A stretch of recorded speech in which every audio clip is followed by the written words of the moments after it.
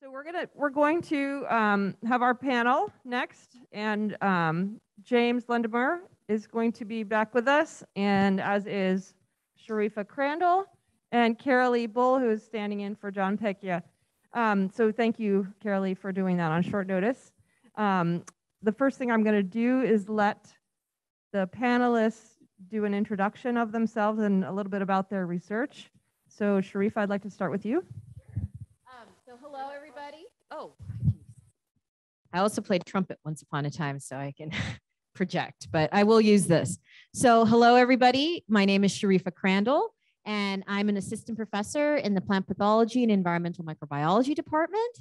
And I have a background in fungal ecology and plant pathology. And so currently, um, my lab is about soil borne pathogens. And I also work with those elusive endophytes. Hopefully, we have a chance to talk a little bit more about them today. And um, I think that's, that's good. So, my name is Carolee Bull, and I, I serve as the head of the Department of Plant Pathology and Environmental Microbiology that you've all heard so much about today. Um, and I work closely with John Pecchia, who is the director of the mushroom um, research facility on campus. It's a it's a um, unique facility. There are only two publicly funded facilities like this in the world, and this is really uh, an amazing facility. The kind of work that has come out of there has helped to make, in fact, the Pennsylvania mushroom industry um, leaders in uh, the country as well as uh, in the world in, in many ways. Um, they're primarily working with agaricus production, but John is very interested in exotic mushrooms as well. Um, and yeah, I think that's uh, maybe what I'll say about that. The, the um, organization is funded by both endowments from the mushroom industry, but also um, I think since 2014, uh, as a group, we've had multi-million dollar grants continuously. And so we just wrote another one last weekend. And so let's, let's hope that one gets funded. Um, my, my particular role in, in working with the mushroom industry or with mushrooms is I'm a uh, phytobacteriologist. I work on diseases caused by bacteria um, on mushrooms or plants in particular. Um, I do a little bit of bacterial taxonomy and what I say is, is, translational taxonomy, understanding what the organisms are and then using that information to strategize management strategies based on their ecology and other, other factors. All right, thank you, Sharifa and Carolee. Um, James, we've already met you, but would you like to say a word or two about about your path, maybe? Uh, sure. um, my uh, so I'm James Lendemer. I am an associate curator here at the New York Botanical Garden and uh, assistant professor at the City University of New York. And so my research mostly focuses on sort of uh, biodiversity and ecology in all its forms of lichens. Um, and, and really, I've spent my career trying to understand what they are, why they are there, and why they are and are not where they are. Um, and really, in my work and my students' work and that of my collaborators, has really, you know, runs the gamut from everything from population genetics and genomics to descriptive taxonomy and ecology, macroecology, all sorts of things. Uh, you know, I, am a person with like an expertise and, and sort of I work with other people who know things about other things to make the world a better place. oh, great. Um, James, I'm just going to do a little PR thing for you right here, right now. Um, do you want to say about among your many works, um, you wrote a book called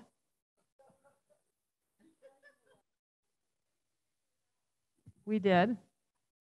You're right. I was going to have him air sign it, but he's gone. Oh, right. Oh, good. Yes. Excellent. So, James, I've, I've brought a copy of your book and it's in the back of the room. And I was going to ask you to air sign it, but um, then I'll have to maybe. Uh, excellent. Thank you so much. Yay. Okay. Um, great. So, I am a microbiologist in the geoscience department. And so that's my one of my hats, and my other hat is as the Ecology Institute director. So I'm bringing both of my hats today in addition to a third hat, which is um, that I direct the astrobiology center on campus. And so I am, um, in many ways, I think of myself as a planetary ecologist, um, hopefully not the dying type, if you've been watching Dune lately, um, in which a planetary ecologist famously dies. Um, anyway, I feel perfectly safe um, in my role as planetary ecologist. So what, I, what we want to do here in this panel is be, be continue to be very freewheeling. And so I'm asking the audience to, to um, participate by asking questions. I do have a bunch of questions here, but I'd much rather have the questions come from you all um, in the, on the Zoom and in the room. Um, and so I think one of the goals that I have for this panel is to try to assess the promise and also the challenges associated with using fungi in association or combination with other organisms. And so we're really focusing on these interactions that could remove frictions or add frictions. Um, and, you know, we're starting from this place of reductionist science where we like to have things in isolation, including microbial cultures. And, um, but we now have these new tools for interrogating how biological systems work without isolating the components first. And so really want to um, talk about, you know, progress and the promise and challenges of, of doing that. Okay, so I actually had a few words and so I know it's been a long day. And so, you know, I'll keep this very concise. Sometimes I think it's nice to maybe have like three take home messages, maybe, you know, at least from me. I don't know. I'm sure there are a lot that you, you can take home today. And so this has to do with, with when you think about fungi and their ecology. Okay. And when you're thinking about making those links between um, fungi and biomaterials. And so, sort of these three things are sort of a framework, or at least my framework of how I think about it. An example, and then making a link or multiple links. Okay, so the first thing, first take home, the framework. So, a lot of my work with fungal ecology is trying to understand fungi across time and space, and in particular, their biology and their traits. And I'm sure you've all studied, you know, traits in general about maybe humans before or other organisms, but fungal traits in particular, I think are important within as a framework. You know, when you're when you're trying to think about biomaterials downstream. So, what are fungal traits? Does anybody know or have any ideas from the audience, maybe? What's a fungal trait? Ah, that it procreates and spread. Absolutely. Dispersal, re reproduction. Absolutely. Traits is a broad term, right? Yeah. Oh, answer on Zoom. What is it? Absolutely. Sometimes it's nice to think about these traits as phenotypic or, you know, maybe the color of spores that allow them to deal with, you know, lots of UV light, right? They actually have melanin, believe it or not, or not just like us, okay, in our skin. So do fungi. Um, and so it's very interesting to think about traits because when you have those genetic traits, you can also study those and you can study maybe their function as well, right? So again, just to think for yourselves, if you're interested in biomaterials, sort of what is it that you're interested in downstream and what are those functions, right? That, you know, James was alluding to earlier that are sort of ubiquitous among certain types of fungi, perhaps closely related fungi. Um, some fungi are very good, most, some, not most, but some are very good at degrading lignin, for example, right? Breaking down wood. It wasn't for that trait, we'd be knee deep, okay, in leaf litter and logs, you know, but the fungi help us with that. Okay, so that's that framework. So just think about those, those traits, some of which are functional traits, genotypic, phenotypic. Okay, so what could be an example? Because remember, this conference is also about those interactions between organisms. It's not just about fungi sort of in a vacuum. Okay, so here comes at least a great example in my mind because it's something I'm working on with a bunch of colleagues here at Penn State. And it's this idea of endophytes. Okay, so what is an endophyte? Does anybody have an idea? Okay, that's okay. It's okay if you don't know what you've probably heard this word kicked around a little, at least today, right? Yes, and people on Zoom are probably like, yep. Okay, so in this room, we actually have a real expert on endophytes. You know, Dr. Maria Del Mar Jimenez Gasco. She's in the back. So if you have any questions, she's been thinking about endophytes for years, and her research is really on that. And I'm just beginning to do this in my career. But endophytes are fungal endophytes are fungi. Endo means inside, phyte typically means plant, but we'll also say they can also live inside of, they're like endosymbionts, can also live inside a lichen too. Fungal endophytes, okay, are so interesting because they have so many functions that, um, oh, and by the way, they typically live inside a plant, but they typically do not cause harm. Okay, typically do not. An endophyte can transform into a pathogen. And that's interesting too, right? So, to wrap this up, because I don't want to take too much time, I think when you think about an example of like maybe where we can think about functions, these fungal endophytes, some people have shown, you know, and there's actual research here in plant in the plant literature, for example, that fungal endophytes help deter herbivory. That's a big deal if you're thinking about crops, right?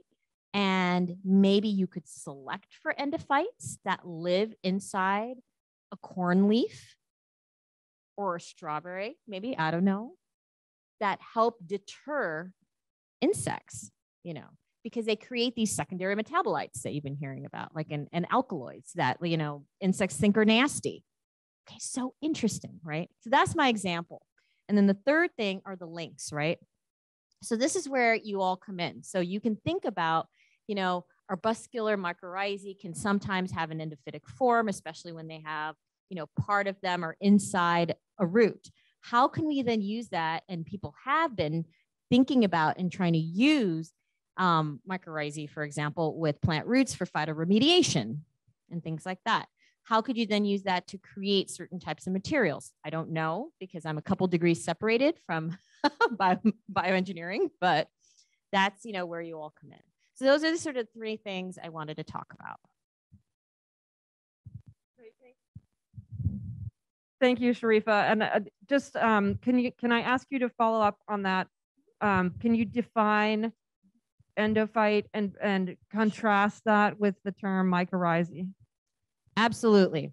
Okay, so an endophyte is a fungal endophyte. I'll be specific because there are bacterial endophytes too. But here we're talking about fungi. So, is a fungus that lives symbiotically with the plant and does not cause harm to the plant. And it's I'll tell you the frontier of science right now because you know we're learning about their functions. Sometimes they're sitting there like we don't know what you're doing, and you can learn about it through microbiome work, metagenomics, things like that. Mycorrhizae, okay, are a type of fungus, okay, and they often associate with roots, and they help increase the surface area of the roots. Think of a sleeve on your arm. The sleeve would be the mycorrhizae, and your arm would be the root and it would help you sequester things like water and phosphorus. Okay. And in return, the mycorrhizae have a home. You know, so so it's very cool. It's it's a symbiotic relationship, but it's specifically a mutualism. Okay.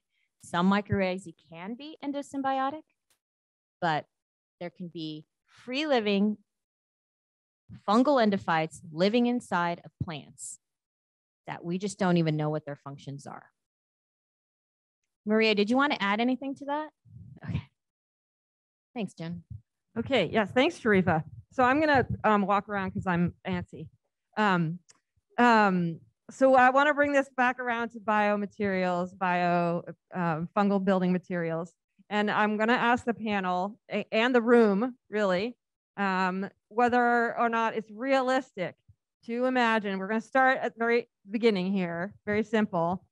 Whether it's reasonable to imagine a fungal building material with a fungal co-culture. So we're talking about a, a plant. So we're discounting the plant, by the way, which has made the substrate and now I'm just asking, you know, is a material that's made out of two different fungi potentially better than one that is made out of just a single fungus? Carolee, I can see you. Yeah, uh, yeah. So yeah. I'd, I'd just like to talk a little bit about what we know about fungi, because I, I think you actually can't get something that isn't more than one organism to be a building material. Yeah. And so um, James loves that answer. So if I if I um, will tell you a little bit about what we know about producing mushrooms. So mushroom production is um, done in a controlled environment. In it could be in a room this big, if you like, um, where uh, specifically composted materials that are composted using um, a two-tiered process or three-tiered process, depending upon how you want to think about it um, to really get the materials in the right state, having the right microbial ecology that produces the organisms and um, that produces the fruiting bodies. Uh, just an example, those um, microbes are necessary for producing fruiting bodies. If you sterilize the compost, you would not get fruiting bodies, okay? And there are um, organisms, Pseudomonas, which is one of my favorite bugs, that in fact um, will degrade toxins that are produced in the mycelium that prevent mushrooms for, from growing close together. So if it, it's producing this toxin, that toxin um, will reduce the a number of mushroom fruiting bodies that you get, but the Pseudomonas breaks it down so the mushrooms can, can fruit close together. Okay, so there is a necessary um, set of microbiome uh, dynamics that happen that allow fruiting body formation. And the area, and I'm, I'm going to just say the area of work that John and I and Kevin Hockett and Fabricio and Owen O'Connor are working on, uh, Rachel started working with us too, is on the concept of micro, micro um, uh, developmental microbiomes. And in particular with, with mushrooms, there's going to be that.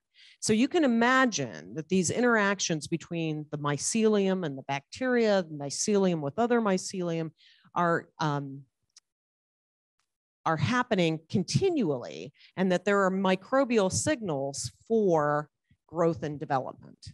And so you may want a certain microbial signal to keep things from fruiting you don't might not want fruiting bodies hanging off of your structures, or you might want them depending on what it is. And so I I personally think, and and I'll just say, you know, as as the current director of the Microbiome Center, you know, I think that looking at what it is you want and then looking at the microbial community to help you get it from a community standpoint is really is really the frontier that's that a very exciting, very exciting answer. Kind of did, but I, I have more questions. So um, you, you're saying that to get fruiting bodies, you have to have a, a, bacterium that is cleaning up the waste so that you can have dense fruiting. That's in that system. Right, so, in that system. So, so in hearing you talk, that made me think about something else. Could I have, so by the way, no one's answered my first question. Yeah, we'll get yeah. there. So if someone has an answer, just chime in. So should it be in co-culture is what you're saying? What I'm saying is, do we know enough about mycelium to understand whether or not a co-culture could be, have better materials properties? I think the answer is no, but I'm just, I'm asking the question. Okay, we don't know. Okay, here's my next question. Could you have, now I'm thinking about carbon cycle, could you have a material in which you have a photobiont or a phototroph that's harvesting sunlight? Because really, here I am, the planetary ecologist.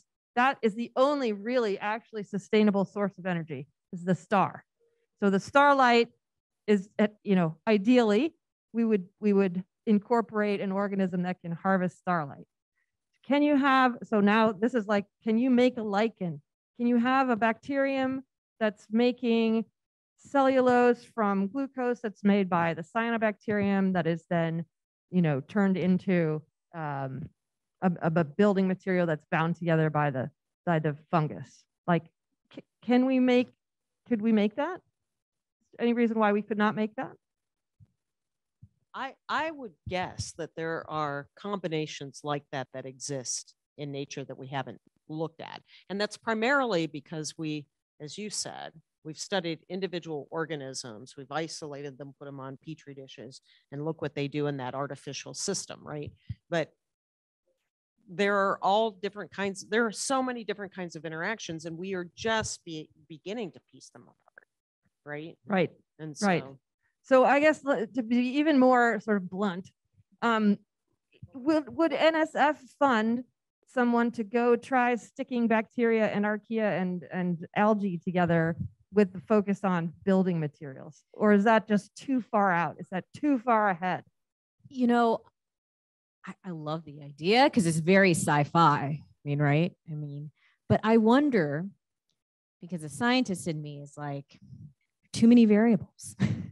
so because we know, especially with fungi or even fungi or even lichen, that you have to be very careful because if you change the environment in any way, that can change the substrate. It can change their reproductive, their reproduction. You know, they're alive you know they're just not a piece of plastic right so um, it's very hard to predict i think it's more interesting to think about what happens here on earth maybe not as much in the petri plate anymore because we know what happens in the petri plate right but to make predictions based on these communities how they might respond to extreme temperatures to extreme environments you know, and then to ex- environments that aren't as extreme and how that might affect aha, their traits. traits, the communal traits, but also the traits individually. I think that would be interesting, but you might want to focus on a couple things. What do you think?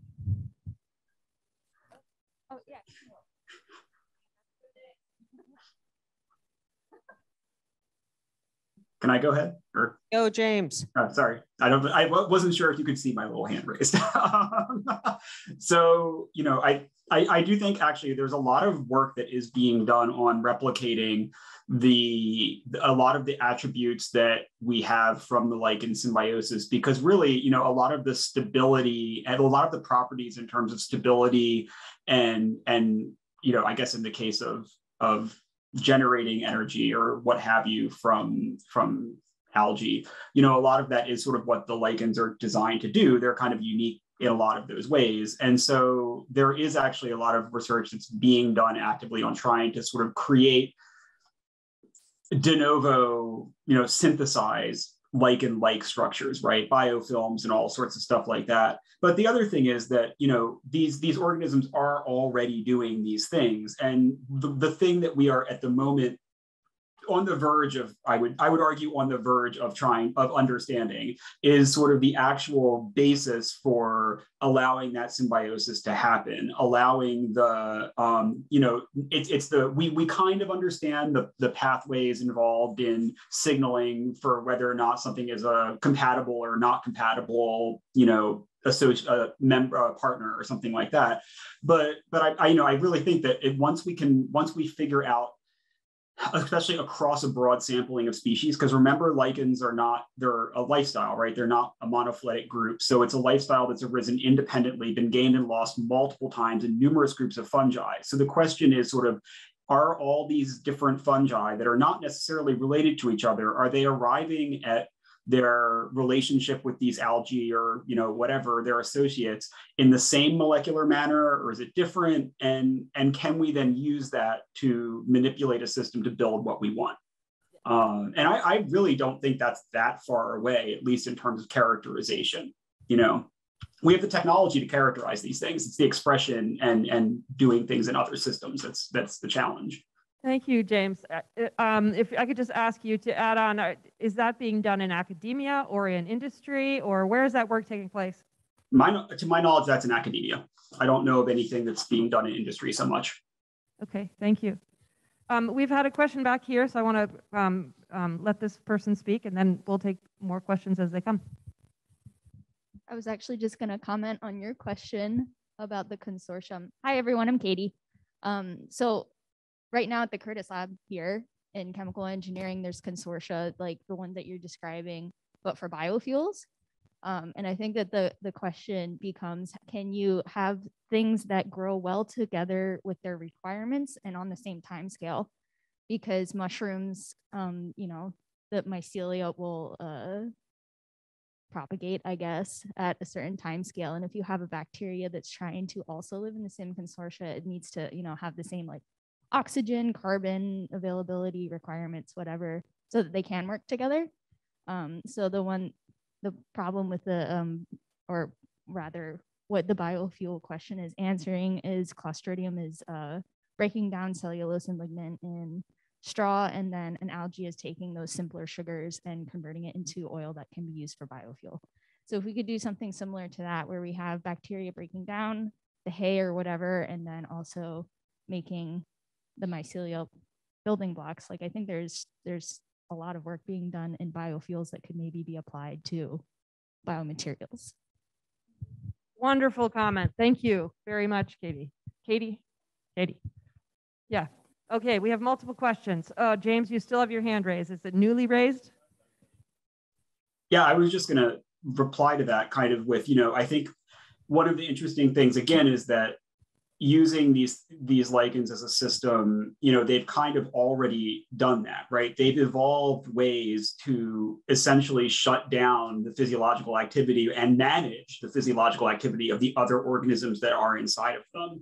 Um, so they are you know physiologically inactive as are all the things inside of them as much as they can be for protracted periods of time and then they become active at certain periods. Um, and so in a lot of and knowing how knowing the requirements that they need to become physiologically active, you could control that and you certainly could manipulate that to your advantage. Um, so, you know, using lichens themselves or the ways that they have devised to do that with these for these other organisms you know like that that is some that is a solution that in some ways has been solved at least in nature I'd be curious to hear about that in other fungal systems because I, I don't know very much about that beyond my corner of the universe. All right, thanks, James. Um, Vinay? I was gonna, hi everybody, my name's Nick. Um, I was gonna circulate back to the first question about a co-culture uh, when we're doing like biomaterials. Um, so my experiences with agaricus also, as Carolee talked about, and um, if you look through like the growing of agaricus, there is a co-culture the whole time with bacteria, but also with fungi.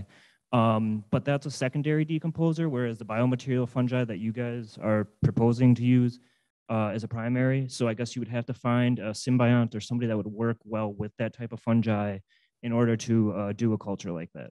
Um, yeah. Wonderful, thanks, Nick. Vinay? Not really a question, but maybe we talked about compartmentalization in science, like how we study one thing at a time. I think when we make our own, we make our materials fungal biomaterials, the problem is like we start by sterilizing everything. The substrate is sterilized, making sure that nothing else is living there. And then we move to the growth room. I mean, in our practice, it's in the Mushroom Research Center, the growth rooms that are clean and sterilized, where we inoculate that clean material with the fungi species that we want.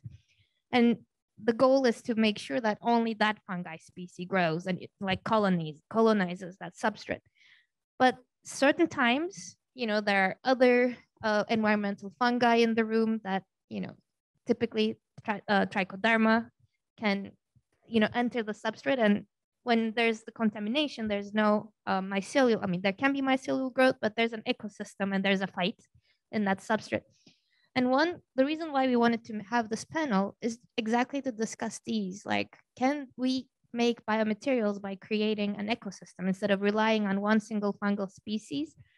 And can that also help maybe uh, fight against mold? So can we find symbionts that will help the fungi thrive, but you know also fight against um, the other fungi species.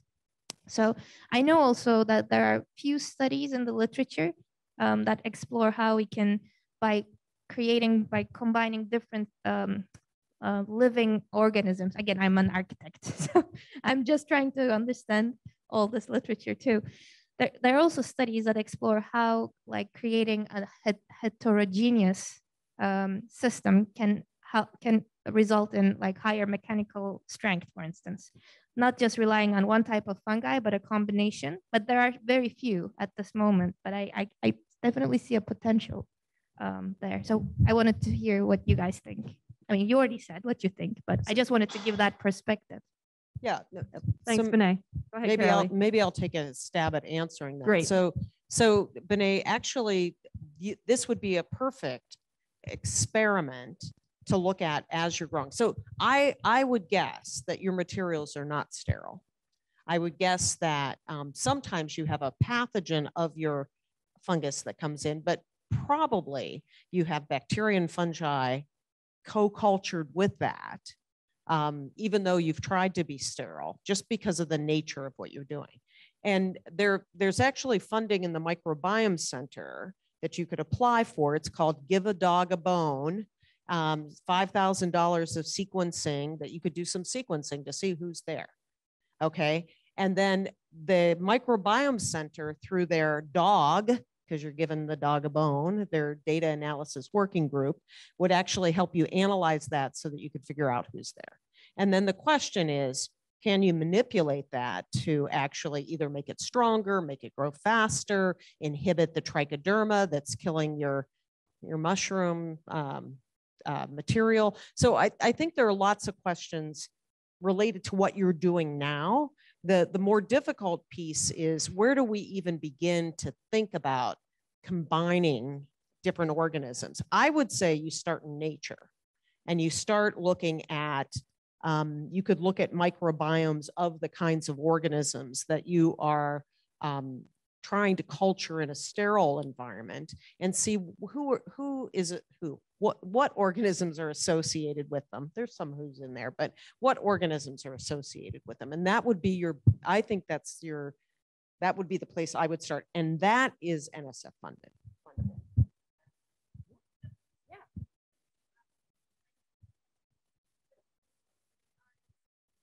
there are companies that produce um, mycelium based materials in like industry industries that produce mycelium based composites, but they don't really disclose um, the, the mixture.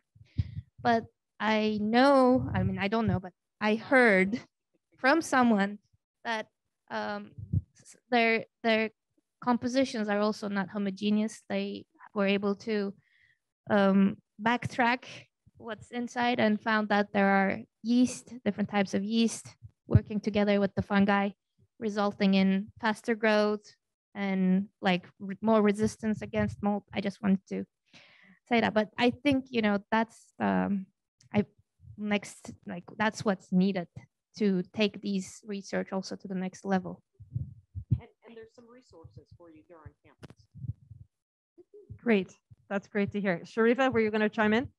I was just going to say that I think it's also important to think a little bit about sort of you know, like the method in terms of, you know, you're saying you want to create an ecosystem, right? And um, sometimes you can look to ecological theory for that. And you can say that, you know, I, you know, you have all these different, you have a yeast, you have some bacteria in there, you have some fungi in your mix, whatever it is, you know, that you're trying to work with. And, um, you know, it might be very difficult, for example, to mimic what's in nature if you're going to, and you should start with nature. I think you should definitely start with nature. But the cool thing is that um, all organisms, I mean, have functions, and they have there's this concept of functional redundancy, where certain functions you can find in different organisms, and some organisms are easier to grow than others. So, and you can take either a phylogenetic approach, where you look at closely related organisms, and the idea is that sister taxa, or like think about your own families. You probably look more like your parents then your friend looks like your parents, right? because you're related. And the same thing with organisms, they'll have those traits. I'm sorry, it's been a long day. it's a good example. You won't forget it, right? But the, so and so we can have these, you know, if you're looking for, you know, lignin degradation again, just as your function, maybe there's certain organisms that grow really fast, they're very common, and that work well with others in your ecosystem. And so that is part of the selection process you would want to put into a grant, I would think. You know, like how you screen, because the screening is like the hardest part. Right. Thank you, Sharifa. I'm going to return to screening in just a moment if we have time. But in the meantime, let's let's take a question from the chat. Question from the chat, again related to mold. Can the alkaloids that endophytes create help deter mold growth? Could the gene from these endophytes be transferred to white rot fungi through genetic engineering? So excited about the idea of you giving a dog a bone. that I was just like, ask the question. Okay, the question is, can the alkaloids that endophytes create help deter mold growth? Could the gene from these endophytes be transferred to white rot fungi through genetic engineering? Um, I think, uh, could they? Yes. Uh, would they be safe? Who knows, right? It depends what alkaloids you're talking about. So, so um, whether you'd want to or not is another question. If it's for a food product, right? If it's not for a food product, that's that's a different kind of question. Did that answer that?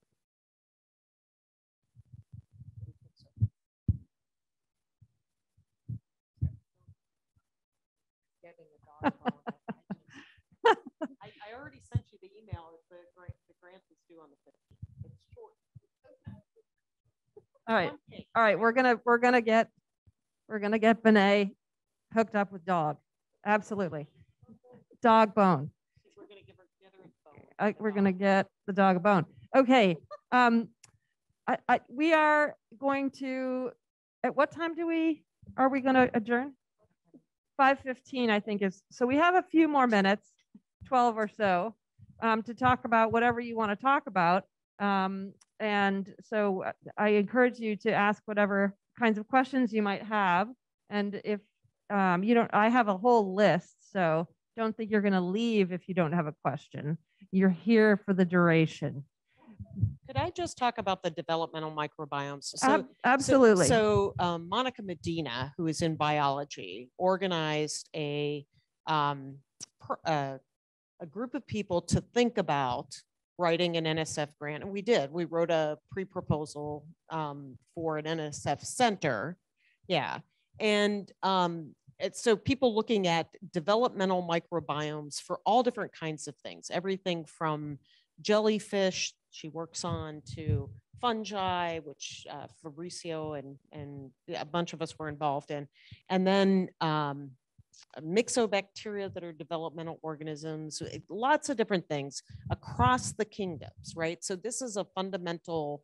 Um, what role do microorganisms have in development throughout the the uh, tree of life, right?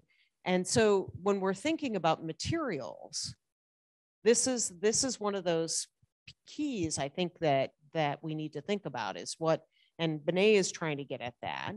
But what is it if you're trying to grow a material? What are those organisms that are going to give you the right consortium? Um, I think it's the same question you're asking, but that fundamental question about are there developmental microbiomes or things that um, increase growth and development, in addition to, you know, just saying what consortium would would allow them to be sustainable by feeding themselves. Just thinking, what are the organisms that are involved in, yeah, just allowing them to grow. It's I, you know, I'd, I'd love to see Monica bring that group back, that rock band, for a second try just because it's uh we we got good at singing but we maybe we weren't playing the drums quite so well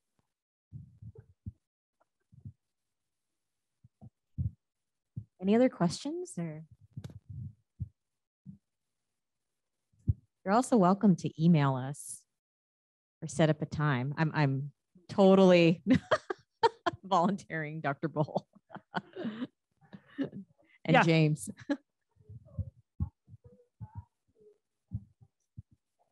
think Sharifa, you had started there too, um, to you know bio-based materials and composites, right? Um, that's where I'm coming from as a mechanical engineer and material scientist.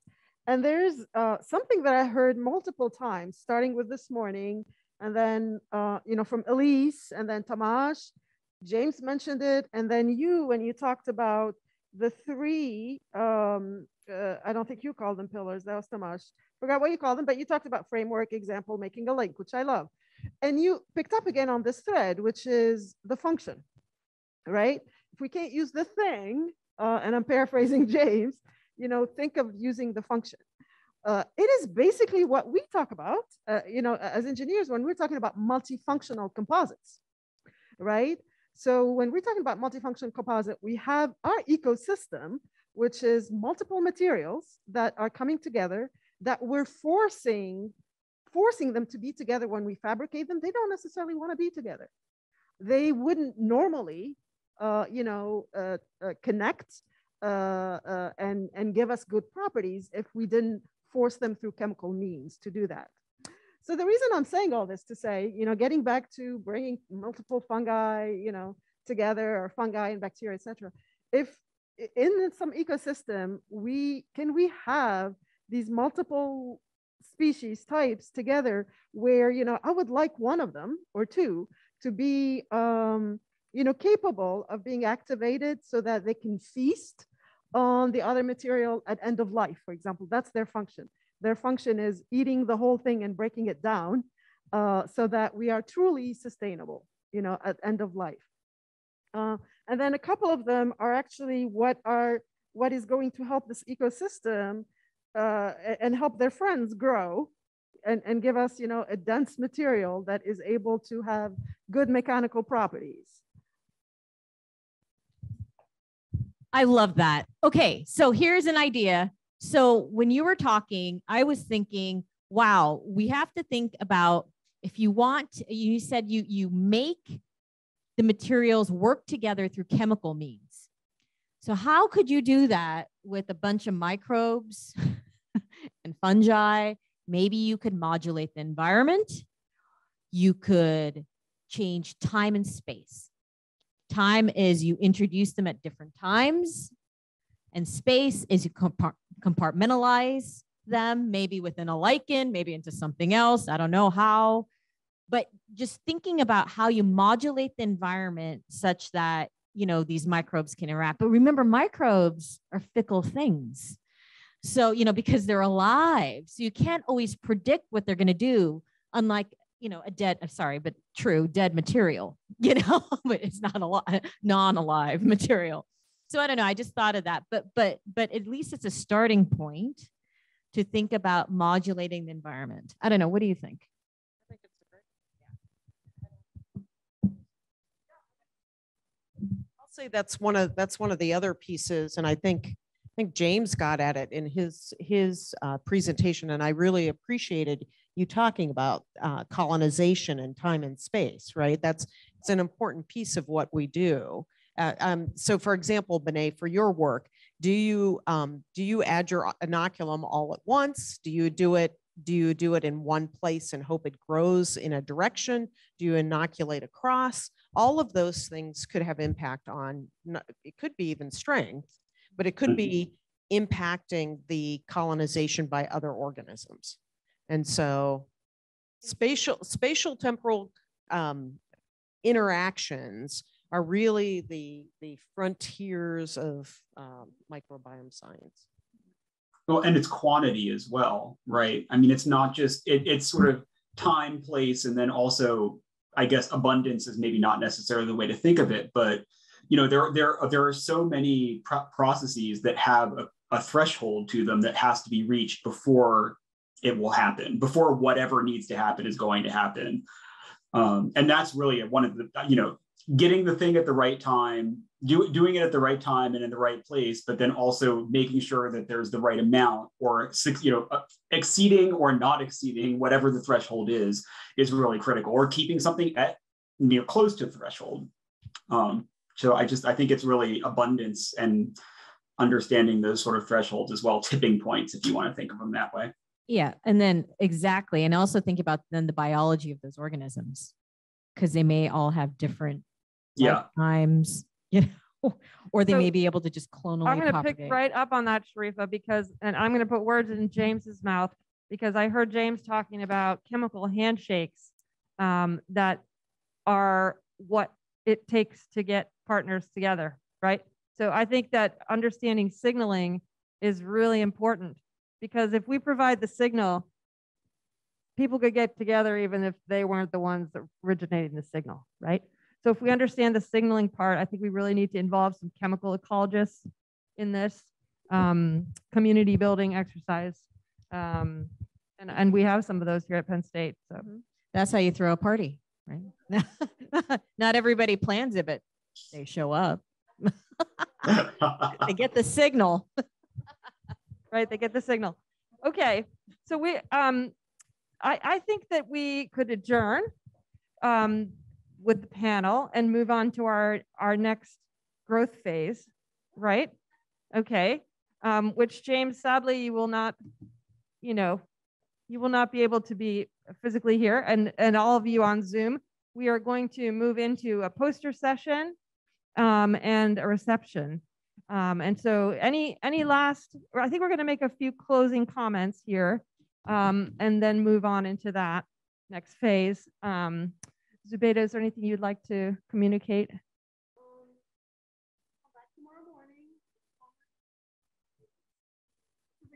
which is exactly what we started to do with this awesome panel now, right? We really wanted our discussions to be focused on how do we move forward as uh, multiple interdisciplinary teams. Um, what uh, Carolee was talking about uh, with um, uh, Monica Medina's effort, that's another uh, uh, outlet that I hadn't mentioned this morning, which is the uh, Science and Technology Centers which are extremely inter and multidisciplinary. And that's something else we might want to think about. And, and let's just um, thank our panelists before it gets too late here. Thank you very much. Thanks, y'all. Thank you. Thanks, James. Yep.